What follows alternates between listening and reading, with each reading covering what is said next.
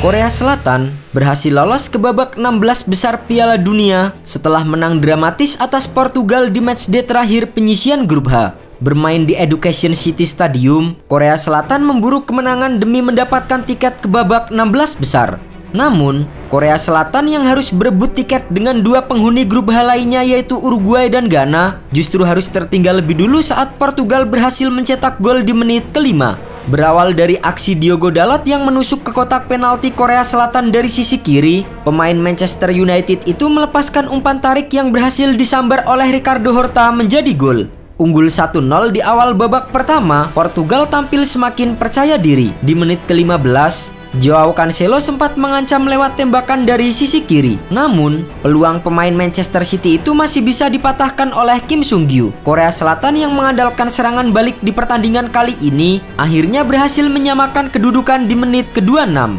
Berawal dari situasi sepak pojok, Cristiano Ronaldo yang bermaksud menghalau bola justru mengarahkan bola ke arah Kim Yung Gwon yang langsung menyambar bola menjadi gol penyama kedudukan. Setelah kedudukan kembali imbang, Portugal mencoba menaikkan tempo serangan. Namun, Korea Selatan yang berburu kemenangan di laga itu juga semakin percaya diri dalam menyerang.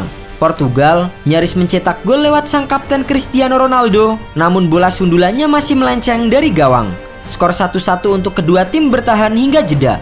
Di babak kedua, Portugal yang mengandalkan Joao Mario, Cristiano Ronaldo dan Ricardo Horta masih terus tampil dominan di awal babak kedua. Sementara Korea Selatan yang dimotori oleh bintang mereka Son Heung-min hanya mengandalkan serangan balik untuk mencetak gol kedua. Sadar permainan timnya tidak berkembang, pelatih Portugal Fernando Santos memutuskan untuk menarik keluar Ronaldo, Ruben Neves dan Mateus Nunes. Mereka digantikan oleh Andre Silva Rafael Leao dan Joao Palinya. Namun, Ronaldo yang tak mampu membendung emosinya saat ditarik keluar, memperlihatkan gestur untuk menutup mulut yang diarahkan kepada seseorang. Mantan pemain Manchester United itu rupanya mengarahkannya kepada penyerang Korea Selatan Cho Gusung. Sebelum saya diganti, Salah satu pemain mereka menyuruh saya keluar secepatnya. Saya menyuruhnya tutup mulut. Dia tidak punya wewenang. Dia tidak perlu mengatakan apa-apa. Saya akan mempercepat langkah jika wasit mengatakan demikian. Dia tidak harus melakukannya. Tidak ada kontroversi. Itu terjadi di tengah panasnya pertandingan. Ronaldo tampil mengecewakan saat diberi kesempatan bermain selama 65 menit oleh pelatih Fernando Santos.